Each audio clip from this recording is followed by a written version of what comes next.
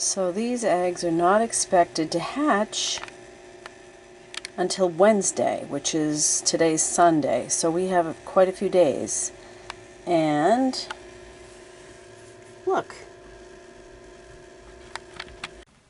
So now I have a little bit of a dilemma because I really wasn't ready.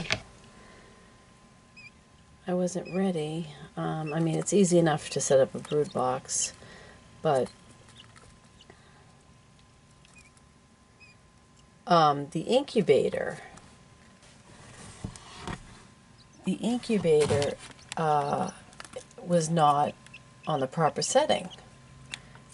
Um, you know, usually you add a little bit more water.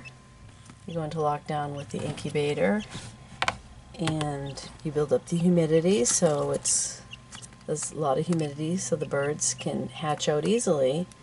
But apparently this guy had no problem hatching out.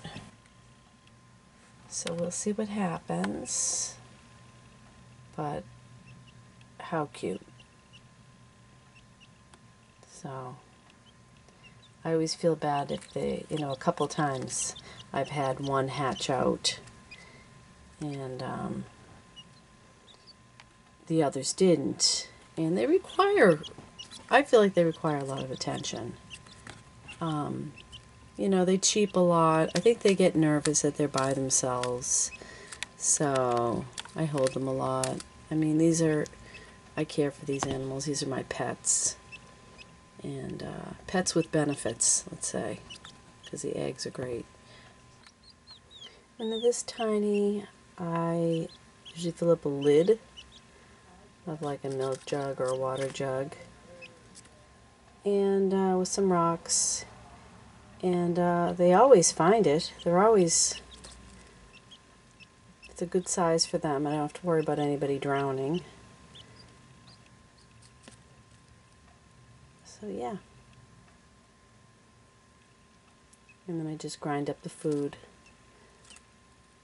So it's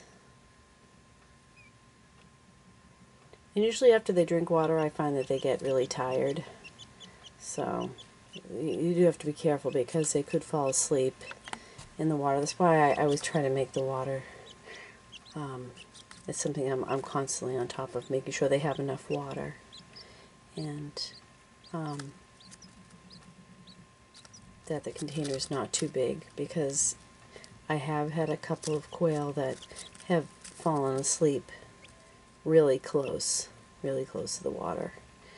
And uh, that's one thing you don't want is for, um, you don't want anybody to drown.